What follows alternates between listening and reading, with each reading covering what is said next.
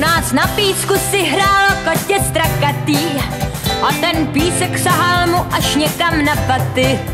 Kolem nebyl nikdo v dálce ani na blízku a tak ptali jsme se, s čím si hraje na písku.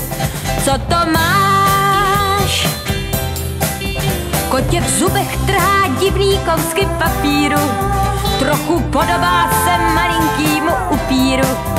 Kotě řekni, co to všechno píšou v notýsku, který spokojeně trháš právě na písku.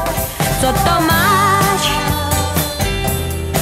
Vždyť já, Já se učím číst, Číst. a s knihou hrát, Hrát. někdy i prát, Prát, trochu číst číst, a trochu hrát, Hrát. a trochu prát, a prát, trochu číst a číst, trochu hrát, a Hrát. trochu číst.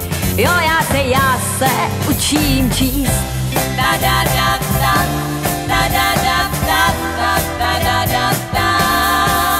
Vezmu kotiti tu knihu jako dudlíka, vidím, jsou to paměti od mistra Boublíka.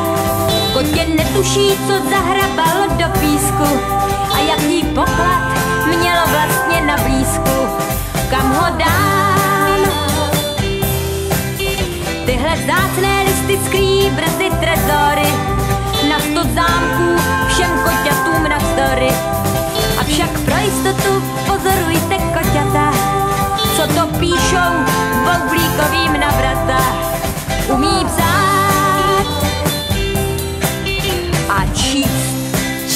učí též.